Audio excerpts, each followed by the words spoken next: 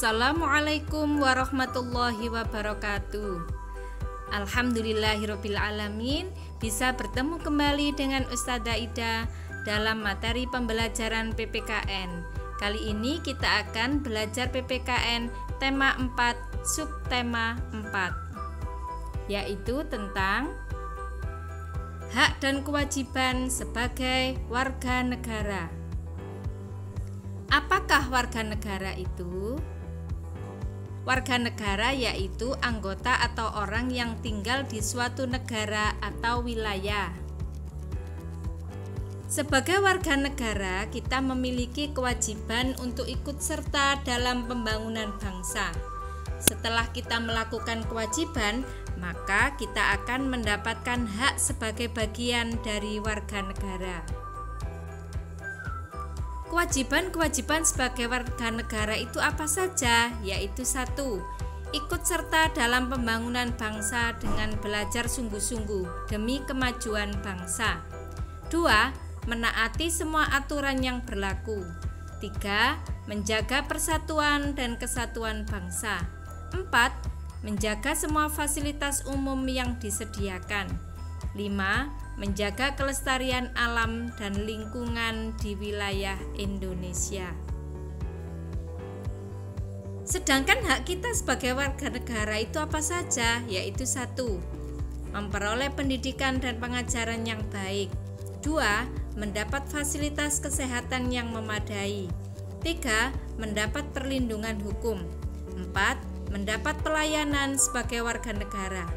Lima, dapat menggunakan fasilitas umum yang disediakan. 6. Menikmati alam dan lingkungan di wilayah Indonesia. Sebagai seorang siswa, kalian juga memiliki kewajiban sebagai warga negara. Salah satunya yaitu satu, belajar dengan sungguh-sungguh. Dua, mampu menjaga nama baik negara. Tiga, merawat dan tidak merusak fasilitas umum. Empat, menjaga kelestarian lingkungan. 5. Tidak membuang sampah sembarangan. 6. Menciptakan kerukunan di masyarakat. Dan 7. Mematuhi aturan yang berlaku.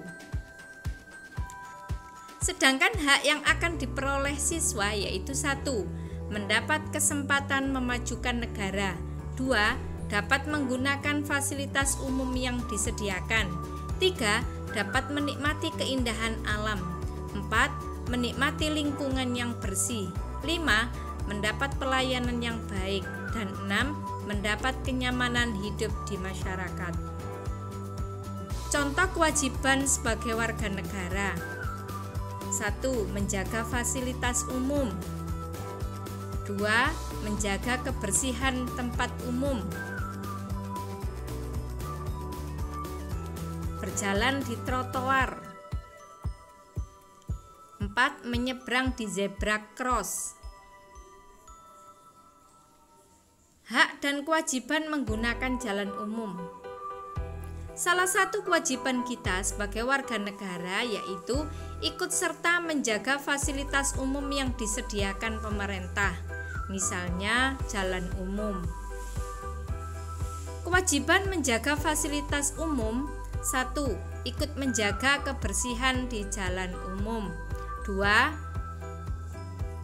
Menjaga semua fasilitas di jalan umum. Kewajiban menjaga fasilitas umum yaitu dengan cara 1. Ikut menjaga kebersihan di jalan umum. 2. Menjaga semua fasilitas di jalan umum. 3. Merawat semua fasilitas di jalan umum. 4. Mematuhi semua aturan yang ada di jalan umum. Dan 5. Menjaga keamanan dan kenyamanan bersama di jalan umum. Hak-hak kita setelah menjaga fasilitas umum itu apa saja? Yaitu satu, menggunakan fasilitas yang ada di jalan umum. Dua, menggunakan semua fasilitas umum yang terawat. Tiga, menggunakan jalan umum dengan aman dan nyaman. 4. Memperoleh kenyamanan saat menggunakan jalan umum. Contoh kewajiban menggunakan fasilitas umum 1. Menjaga kebersihan halte bus.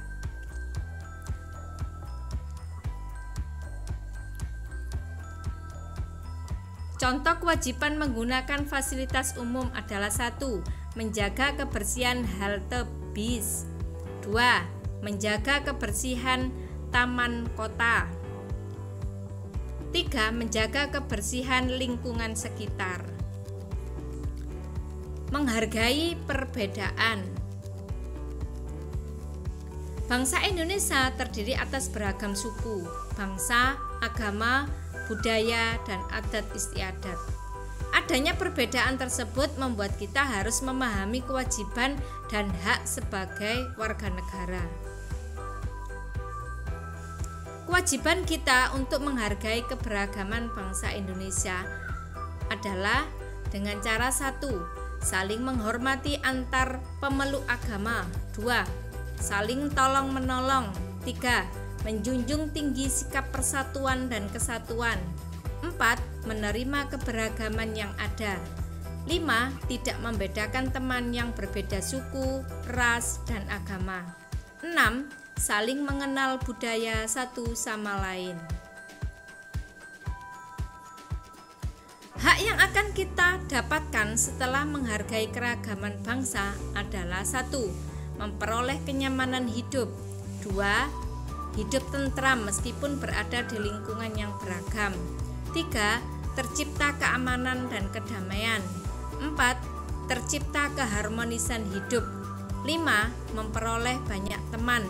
6. Memperkuat persatuan dan kesatuan bangsa. Alhamdulillahirobbilalamin. Demikianlah anak-anak pembelajaran PPKN kali ini.